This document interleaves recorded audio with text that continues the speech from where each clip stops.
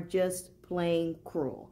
I am so tired of hearing about, well, Halloween is so demonic, it's so evil, I don't want to welcome anything into my home. You don't have to participate in the evil, spooky, horror stuff if you don't want to. No one's forcing you to do that. Now, you have some parents who want to rebrand Halloween, call it fall festivities, and all these other cute little names that don't involve Halloween, but at least they're still allowing their child to participate in all of the fun activities that go around around fall time, which is great for the entire family. Don't let kids feel left out because you've made up in your mind that all of a sudden Halloween is evil and I don't want to invite all this stuff in my house, especially parents who grew up enjoying Halloween. Now, if you never experienced it and it was never a part of your family, I could see how, you know, you don't want to delve or dive into it, but don't be that parent don't don't do that. And, and, even the people who try to rebrand halloween i'm like okay it's a little much but at least you let your kid go to the pumpkin patch. At least you let your kid dress up. At least you let them go trick-or-treating. At least you at least you let them go to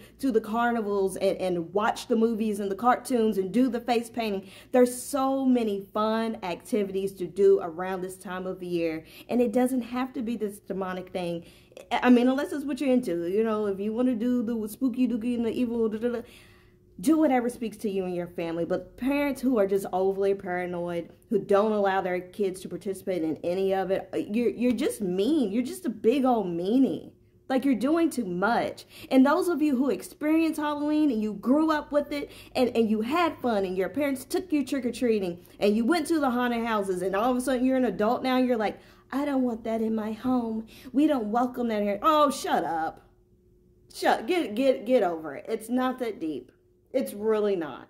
Let the babies have fun. All their friends and stuff are coming to school. And I know it's like, well, if just because they're doing it, we're not doing it. Don't let your kid be the kid that's left out. They want to do the classroom parties too. It's just a great way to bond. Let them meet the other kids in the neighborhood. Go out as a family.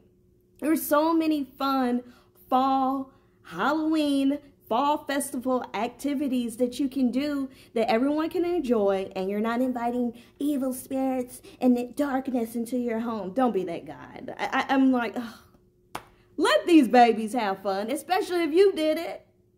You turned out okay, mostly. It had nothing to do with Halloween. Thanks for coming to my TED Talk.